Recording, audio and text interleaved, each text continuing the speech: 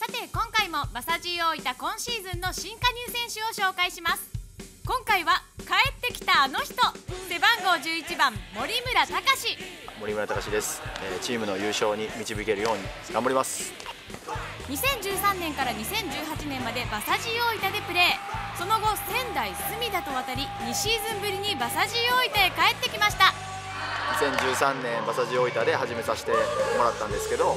えーまあ育った場所でもありますしまだ対戦相手の時もやっぱ意識するチームではあったのでやっぱこのチームであの恩返し恩返しじゃないですけど育ったチームなんで恩返しして優勝させてっていうのは僕の今の目標です。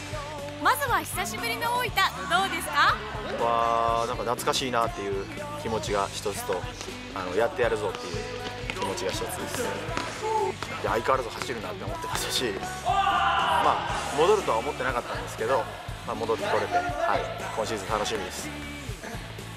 チームへの合流初日から超ハードなフィジカルトレーニングに参加。いや懐かしい感じとあこんなきつかったかなと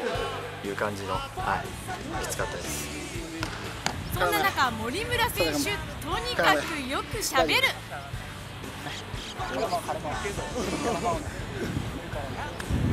なんかそのスタート上げて元気じゃない。喋ってごまかしいだけです。もうすでに持ち前の明るいキャラでムードメーカーとしてチームに溶け込んでいるようですね。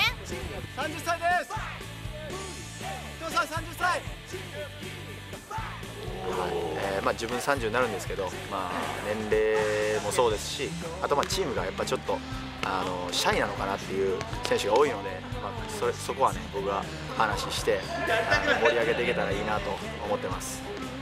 そして森村選手現在フットサル日本代表としても活躍中。今年開催されるフットサルワールドカップへの出場が期待されています。代表の方がまああのぼちぼちなんですけど、まあ、毎回呼んでもらえるようになってあの今はワールドカップに向けて集中しているところです。代表としては、まあ、まずは、まあえー、ワールドカップに出場。でワールドカップで活活躍。でそこであの代表で得たスキルっていうものをチームに落とし込むっていうのが今の僕のあの課題ですね。最後にファンの皆さんへメッセージです、えー、久しぶりなんですけどあのタイトル絶対取りますのであのどうぞ応援よろしくお願いします。森村選手の活躍に期待ですね。来週もお楽しみに